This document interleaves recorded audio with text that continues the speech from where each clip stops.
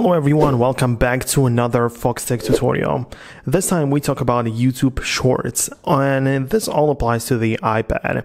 Now, if you wanna, if you are in a situation where you have the videos ready and you wanna publish them as shorts right from your iPad, then I made a specific video just about that. So I'm just gonna link it down below. If you wanna check it out, it explains it in depth. But the thing is, how do you actually create the shorts? On your iPad and not just to publish, but how do you actually create them? Well, the YouTube Shorts are basically short form video content, which is usually under 60 seconds, and it just focuses on quick, punchy storytelling. And the process is pretty simple. It includes, of course, finding the content. You have to make sure that you have the videos ready or that you shoot them. Then you have to like plan what you're gonna say or show in that video. Then you have to shoot them, as I said, and then edit it. And I'm gonna mostly focus on editing it because I want you to use the app called CapCut. CapCut is a free video editor, which you can go ahead and open up the App Store and then download it in case you don't have it just yet.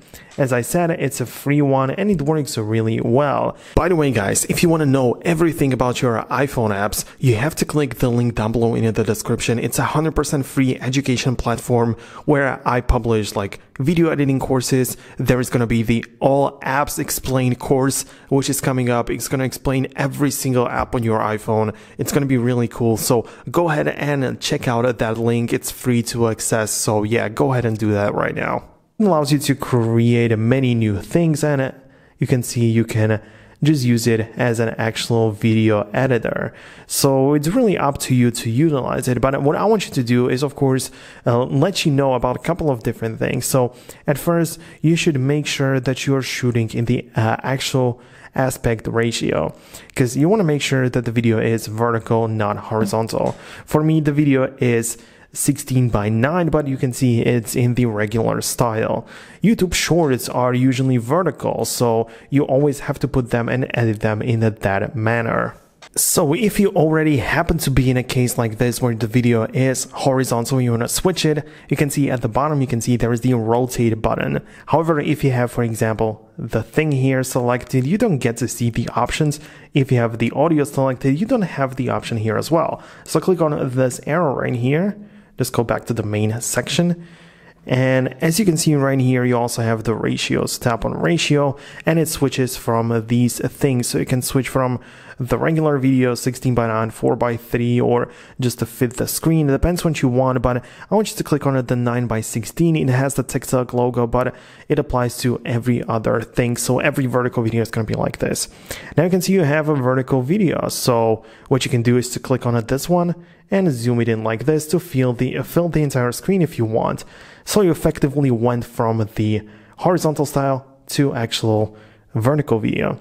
In case, for example, that the Apple Watch is moving around, the subject of the video is moving around and it's not always in frame, you also have the auto reframe option. It's also part of the Pro package, so I don't think that you can actually use it that well, but you can just use it like this and your Uh, CapCut app is automatically going to adjust it to make sure that the auto reframe is activated and that the subject always fits inside of the frame.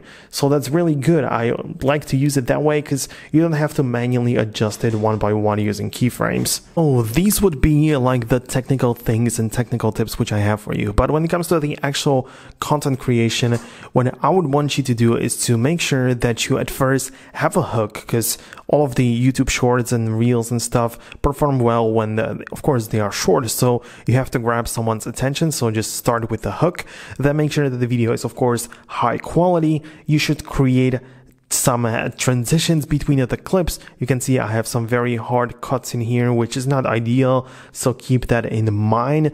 You should also sync visual elements with the beats of the music in case you have the option to, because it just makes sure that the video is like more entertaining to watch. So you should always do that as well when you can. And also make sure that the video is of high quality, of course. So yeah. So that's about it. These were some basic things. I don't want like, this is not an in-depth guide on creating creating reels. I just wanted to show that to you. So just this is how you switch from uh, horizontal video to vertical. Use the auto reframe, a couple of tips, and that's how you can create a YouTube short using the CapCut. So I hope that the video has helped you out. Make sure to hit the thumbs up if it did, and also subscribe so you don't miss future videos like this one. Thanks a lot for watching, and I'll catch you in the next video. Peace out until then.